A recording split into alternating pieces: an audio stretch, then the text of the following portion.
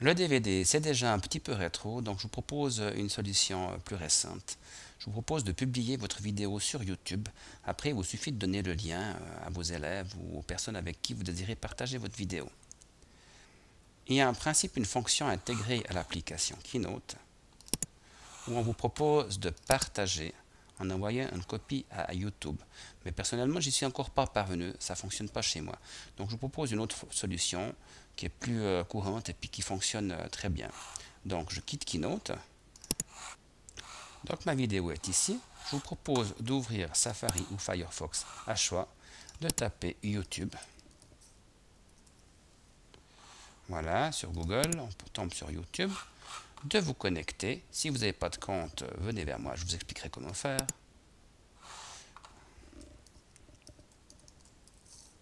Voilà. En l'occurrence, moi j'ai deux comptes, un compte personnel, un pour l'école. Je dis OK.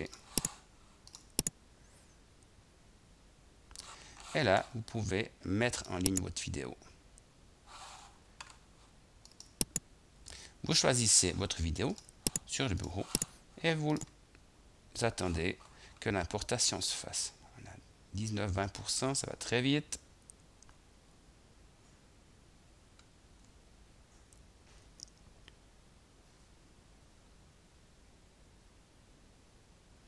Vous avez un moment de traitement ici.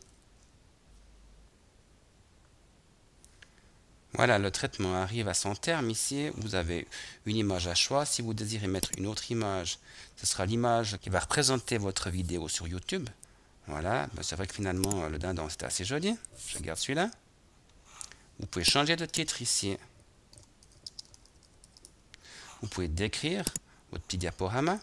Et puis vous pouvez mettre des tags. Les tags, ce sont des mots qui vont permettre euh, de trouver plus facilement les vidéos lorsqu'on fait une recherche sur YouTube. Alors par exemple, oiseau par exemple, voilà. Ou bien alors euh, on peut dire aussi Yvonne. Voilà, établissement scolaire. Voilà, et puis peut-être encore euh, diaporama, etc., etc. Et puis là, vous pouvez choisir si vous souhaitez faire une diffusion publique ou alors si vous désirez distribuer le lien à vos élèves pour qu'ils puissent y accéder euh, sans que ça passe par une recherche. Quand c'est terminé, vous pouvez publier votre vidéo. Le lien de votre vidéo se trouve là. Je le copie. Je vais le coller ici dans l'adresse du navigateur. Et vous accédez à votre vidéo. Principalement de plusieurs espèces, presque exclusivement de galliformes, en particulier le coq domestique. Sa femelle est la poule. Le dindon est un grand oiseau de genre mais Voilà, comme toujours, ça fonctionne.